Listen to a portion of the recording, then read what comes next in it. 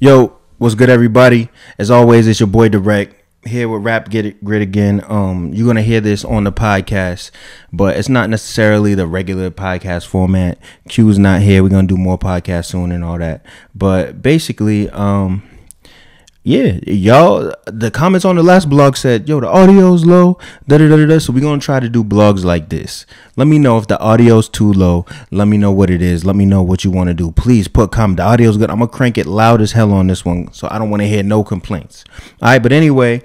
We're gonna get into RBE's Pearly Gates 2 in a second. I thought it was a very important night, and we're gonna explain why. But before I even do that, um, so I know uh lately I've been dropping a lot less blogs and just material on the channel. And it's really been a motivation thing. I know y'all have seen me on some of my other blogs basically talking about um, you know, battle rap isn't doesn't have give you that feeling as it used to be. And that was really affecting me. So I was just doing, you know, working on other stuff in life.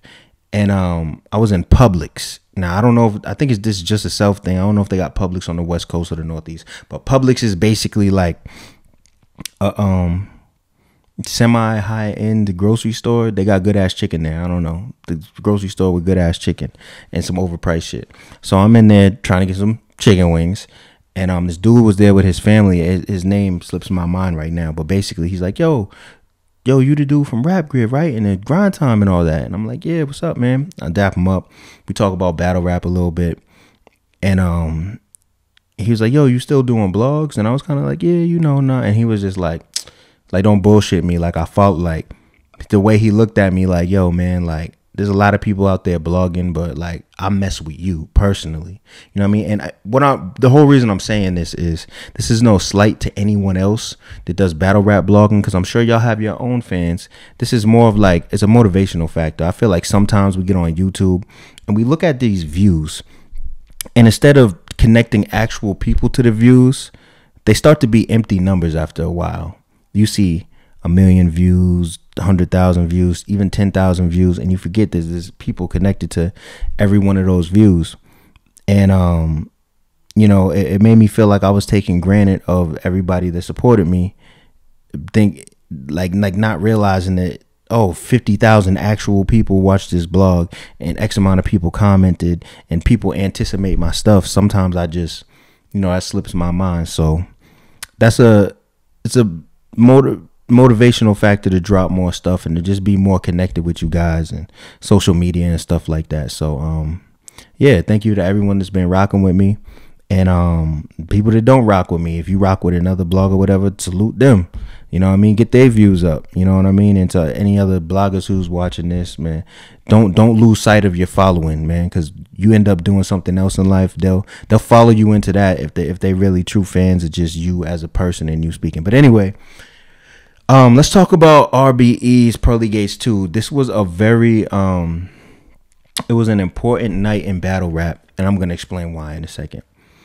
Um shout out to everyone who purchased the stream. Shout out to uh Born, Octavia, Steve, people that was um hosting a live stream. Shout out to, you know, uh the Saga, Daylyt, Loso, Mook, you know, everybody that if I forget your name, sorry, but everyone who jumped on the stream and did an interview. It was dope. I think it was one of the best streams we've done. Um, and the next one's only gonna get better. You know, I got a list this long of stuff that you know we want to suggest for the next one and that we're gonna fix. Um, and yeah, uh, I think Born was really popular on the stream. I, have been talking to him for a while about getting on the stream. Just the way he talks one on one about battle rap, it's a lot of passion, it's a lot of fact, and it's a lot of knowledge, and even just his opinion. He he has a very crisp and concise way of getting it across. So, bam, uh, you know, Born was on there. He was good, and um, you know, a lot of people ask me to do it. So I think for the Mook and Aye Verb battle, um, if you're looking at me like, wait, they didn't announce it. They actually announced it today. So Mook is battling Verb. I think me and Born will be um, the main uh, ringside announcers stream host for that. So um, yeah, I'm excited about that. Eight eight eighteen. Um so yeah, let's talk about Pearly Gates 2 now. One SK battles was Blick the Barbarian versus Luck Dollars and J Slash versus Bigger Bigelow. Like both both battles was was decent, but honestly, Blick the Barbarian just had a great performance. It stood out to me. Um, I'd like to see uh, what RBE does with him moving forward. Blick has been around for a long time. Um, and he he team Hami all day, and he's just he's dope, man. Just the way he put his stuff together, and he even said a lot of lines that um people might say, "Oh, I heard a rendition of that before," but just the way he had the crowd and everything, and the way he flipped it, and the way just his poise and crowd, it was dope. It was really dope. So Blick stood out from the one SK battles. ARP, Lauren Shada, let's see what you do with Blick. Um, two on two didn't go down. It was replaced with J Murda versus um, B Magic. Now the thing with B Magic is that everybody says that uh you know he ain't prepared no more. He suffers from that syndrome that a lot of unmotivated battlers suffer from whether whether it's they're preparing at the last minute they don't got the same competitive juice of fire that they once had and they don't bring that same energy to the table and it results in a choke or just a, a weird performance or something like that and um i gotta say b magic showed up he it was shades of that B magic that we all know to grow and love. Maybe a quick stumble, I think in the second round or something like that. But the thing is that J Murda had the best performance of his life. And um to be honest, he said a couple schemes that I never heard anyone else flip before. And I, have heard a lot of schemes. Um he had an and one scheme, and I don't think in a battle of big magnitude anyone did an and one scheme. And as he was saying it, I'm looking at people are going crazy every time he names one of the and one ballers. And I'm like, yo, this is crazy. Nobody has done this as of late. Like this is this is one thing that anyone uh remotely related to hip hop or battle rap, like just you would think this was would be the first scheme is and one. But he did his thing on that. And um that was something else memorable. J Murda did. It was like an Animaniac, Wakko and Yakko on the dot type joint. Um, that was good. So J Murda, he showed. I, I literally think that was the best performance of his career, and I think it was a sign that B Magic is warming back up uh, to maybe get to the level that he was at. It was a. I thought it was a very good battle. Nobody was disappointed, but J Murda definitely got that. Um, let's talk about Daylyt and Loso. Loso was what you expect. He was good Loso. We actually had the uh, champion scoring cards, and they said you'd score each round from six to ten. I had Daylyt. His round one was a ten. I had Loso's round one a nine. Daylyt's round two, I had it as a ten. I think I put a ten plus. Now I know the plus didn't mean anything, just for me personally.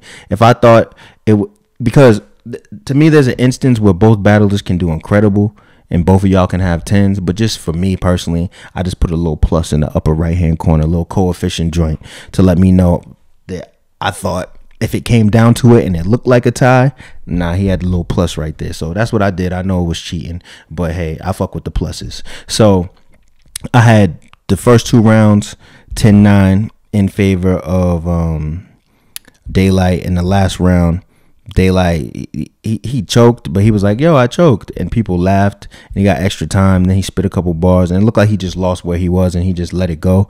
So I gave him a seven that round, and I gave Loso was Loso was was a ten, I believe, in the third round. So yeah, if you go by rounds, I had Loso winning. No, no, my fault. If you go by rounds, I had Daylyt winning, but um, I guess if you were to just look at the battle as a whole and add up the score, Loso would have won because Daylyt had a low score in that last round, and it was close the whole time. But uh, it, that that's my mathematical way of telling you uh, who I thought won. Um, another great battle, man. I, I think it would have it, it would have went down as an amazing battle if Daylyt finishes third, but he didn't come to play. No antics. He just had really good raps, and Loso was the same way. You know what I mean? Um, second round from Daylyt was my favorite round of that battle. Um, now we got Math Hoffa and Ill Will. Now before even going into this, you know, Math, um, he seems like he's doing better. He's telling ARP he's going 3-0 Ill Will. Uh, we haven't t- heard him talk like that in a while, and I think Ill Will is just a great matchup for Math. Let me tell y'all. Let me tell y'all some shit about Math Hoffa real quick, right? When Math Hoffa battled Iron Solomon, like I wanted Iron to win. I was more familiar with Iron. Like you know, I was doing the jump off and the freestyle stuff. But when Math hit the white bread, why you come for dead? You want to battle? Me hit you with a bottle on your lumpy head and all that stuff and the large cup of coffee from Starbucks. You know I mean? I felt like Solomon killed the first round of Math, won the second two. And I said, you know what? I like Math because at that time you had the backpack freestyle people. and you had the dudes that was rapping about street life and doing a million unlimited rounds. And I always thought that if the dudes who rapped about the street shit incorporated some of the funny, goofy shit from the freestyle, you would have a style that was impeccable. And this is, I don't know, like 2006 or something like that. And um, you know, obviously a lot of people have incorporated that now, but Math was one of the first people I saw with an authentic, believable street style that could switch it up and be funny, that wasn't a corny way. And I always thought he was ahead of the curb for that reason. And he was always one of my favorites after that battle because of that. And even, you know, there's moments that Math has had and like the T Rex battle, the Dose battle, Luciano Crack battle, and the Chilla Jones battle are the four battles of Math post Smack DVD era that stick out to me. Um, I, he's had his ups and downs, whether it's it's being ill prepared or um, him going through something, having to bounce back from a lot of controversy. But uh, I dapped Math up before he, he even rapped against Ill Will, and I said thanks, yo. And he kind of looked at me like, and I'm like, it's like I, I can understand from the way that you're speaking that you're you're like mentally back and I know you about to kill it. And he was like, Yeah. So with that being said, I don't have let me see if I have my scorecard for math and ill will. Um I know I posted it on Twitter, but it should be in my photo album right here. Uh math and ill will. Oh, that's videos. Okay. So I had Math first round scored as a nine. Ill Will's first round scored as a nine. Math second round scored as a 10 plus. Ill Will second round as a 10. Math second round, third round as a 10. Ill Will's third round as a 10. That's actually a tie. The only thing separating them is that I gave math second round a 10 plus. So if you had to hold the gun in my head, I would tell you math won. But yo, first of all, that's my favorite battle of this year. And honestly, after like one and a half rounds, it was one of my favorite battles of all time because it was so obvious how good of a matchup it was, man. Like a lot of leagues, like let's call it what it is, they suck at making matchups right? It's like you just book people with names and think that you're gonna get credit because you booked the good names.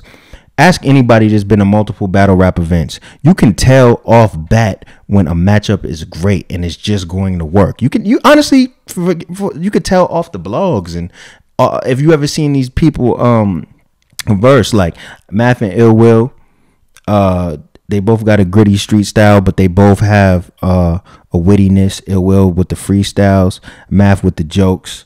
You know they they both have an extra edge to them and they're both very well rounded. And i think math has a huger name and uh he as he seems to be more uh well marketed to the masses.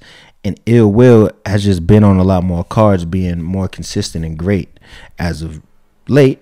And um yo that battle was amazing man it's hard it's very hard to call like i said i had it the first round both nine and the last two rounds both ten uh, like the rebuttals from Ill Will. Uh, Math had a uh, had a line where he was like, "I squeezed the nose on Will, like yo, home, smell you later." And we I tweeted out the little the Will Smith meme and everything, and people, you know, it, it was crazy. It was crazy. It was crazy battle. I'm definitely calling it a classic. It's probably one of the top three RBE battles of all time and it's got to be in my top 10 favorite battles off one watch haven't watched back to no i can't lie i fast forwarded to watch the yo home smell you later. And the um bitch has been been switching up on on will since aunt vivian. Like and the jamaican yo man listen it's a classic battle. It's nuts. Go watch it. It's everything is hyped to be. Um and what whatever you if, if you haven't seen it yet you're imagining like yo i think the battle no it's better Whatever you imagine it could be is way better. It's great battle. Um, Pat Stay and Aye Verb. Um, without doing a round by round breakdown, um, this is what I think happened. Aye Verb is known for not taking every battle seriously. Late lately, he's been known for that, and that's not his whole career in general. Um, but he he's also he's he's he's shown flashes of even though he's uh dread verb, he's shown flashes of of uh Dax uh S curl box wave spinning verb. And um this was the biggest thing for me is that he's had a lot of lyrics lately, especially you know like the beat out battle, but he hasn't had the same aggression in that. You know, like that, like you know when somebody rap from their diaphragm, that umph in their chest. He hasn't really had that as of late, and um, it seemed like he wrote for Pat Stay because he had some good material, but when he found out he was battling Mook, I think he decided to put an extra umph and aggression in the beginning of his battle to show people, hey, I still have that in me. That's something I didn't know of Verb abandoned, but um, he just came out the gate with a showtime in the first round, and he was rapping his ass off. Like Verb is one of the, when he's on, he's one of the most well rapped. Not even when he's on, just you know, if you break his stuff down, one of the most well rapped battle rappers, and I appreciate that he has his own style that he brought to the game, even though it's lyrical. It's not A B C then break this down. It's, he just has a very, you could tell he knows how to rap. He's a rapper, then became a battle rapper, and mastered both. That's how he sounds. Now Pat Stay's whole vibe throughout this battle, some serious, a lot of jokes, but the jokes translated well to the crowd people say, "Oh, we don't want to hear jokes," but listen, if the jokes are bars and the bars are jokes, what can you say? Pat was saying some crazy shit that was flooring the crowd. Verb was rapping very good. I think I think he might have slipped in the third round, but he he got the point across. He did very good. You can't be upset with Verb's performance, but Pat Stay he he took the crowd in the palm of his hand, and I think he needs to come back to RBE. I think this would be uh, a great place for him to frequent. The New York crowd loved him, and uh, I just think like, oh, next card, Pat Stay and Ill Will. I would love to see that battle. Pat Stay versus Ill Will. ARP, can we set that up? Fans, can you uh not even fans, yo, my peoples, can you just get in the comments and, and tell me what you think about Pat Stay versus Ill Will? I would love to see that. It would be an amazing battle. But yeah, um, so Verb has Mook next, and I'm gonna talk about that in another blog. Um, but he, did Verb Verb did his thing to have people still interested. Um, that's all I'm gonna say on that. I'll do get super in depth with Mook and Verb and another joint. Um, so yeah, Pearly Gates two was good. Now this is why I, I wanted to say that Pearly Gates two was important, right? Now you have where I want to start, right? So you have you had grind time in the new era of battle rap. We have grind time and smack. They're going like this. Grind time falls off. King of the Dot. King of the Dot and Smack start going parallel. Smack becomes like so all many celebrities. They start going up. Then Drake comes. King of the Dot starts going up, and it's like Smack is on top. King of the Dot is right here. Um, as of and then you have Don't Flop also, right? Those are those are the the big three. Those are the big three for a large period of time, right? Then you have other like battlers start making their leagues and stuff like that. You have a lot of them come and go, but the main so now don't flop fell off a little bit lately. Then you have uh, you have leagues popping up in England, but King of the Dot and URL have always remained consistent. Doesn't really look like you can unseat either of them just because they put in so much work. Now, there's a lot of crazy shit behind the scenes of battle rap. Some of it not my business, not my place to even speak about on camera.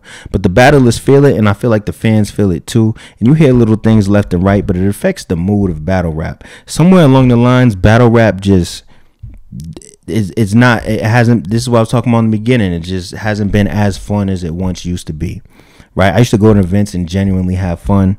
Now it's just like everybody stressed out. You know what I'm saying? That something always goes wrong you know? And and like just just weird shit. Battle rap doesn't give you the same vibe it used to give right? So I always said if someone was able to recapture that competitive vibe and spirit we'd be good. Now you enter the uh like the bullpens and the the RBEs and even the Queen of the Rings. You know what I'm saying? They were all rising up at a point in time where people were looking for new material. Now, Queen of the Rings been around a little longer, but you guys get what I'm saying. So, just in my personal opinion, the events I've had the most fun at lately have been the RBE events and the bullpen events. I feel like it's a new look. They don't have all the same rappers. You know what I mean? Um, it's a different vibe. Like like when you when you get all your money, and not, I'm not saying other leagues don't pay everybody all their money, but the battlers walk in, they're smiling. You know what I'm saying? There's food in the venue. The, the crowd feels the vibe, and there's like a certain energy in the air at a dope battle event. At a whack ass battle event, it's a whack ass energy in the air, right? So we've had a lot of good battles lately, the volume ones and stuff like that. But Pearly Gates 2, it just it just there was a really good vibe in the air that I loved. And that mixed with the Mook announcement, it just gave or I feel like RBE just got this push, man. And you hear a lot of people saying RBE's jumped into the second spot behind Smack. I've even heard some people saying that RBE is the best league right now. I think that when you're in a competitive industry, you have to constantly remain creative and push the boundaries.